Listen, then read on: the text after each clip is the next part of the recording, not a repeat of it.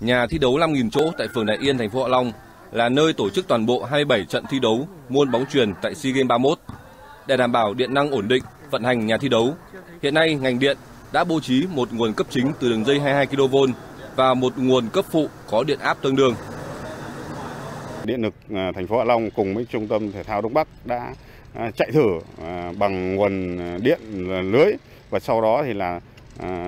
test hệ thống máy phát. Khi mất điện thì hệ thống máy phát đấy sẽ chỉ mất khoảng 10 giây hệ thống đóng lại đảm bảo cấp điện cho phố không bị gián đoạn. Công ty Điện lực Quảng Ninh đã đề ra các phương án sẵn sàng xử lý các tình huống bất khả kháng như sự cố, quá tải hoặc các tình huống tương tự có thể xảy ra tại các điểm thi đấu trên địa bàn tỉnh trong thời gian diễn ra SEA Games 31.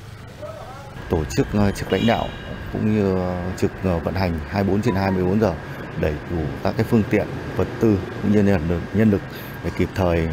ờ, khắc phục các cái sự cố bất khả kháng có thể xảy ra. Cùng với ngành điện,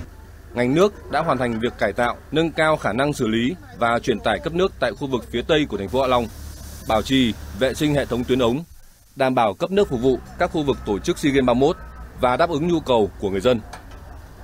Đối với các cái vị trí mà có kế hoạch diễn ra các cái ờ, môn thi đấu của SEA Games thì công ty đã ờ, phối hợp cùng với ờ, các đơn vị quản lý để để khảo sát kiểm tra cái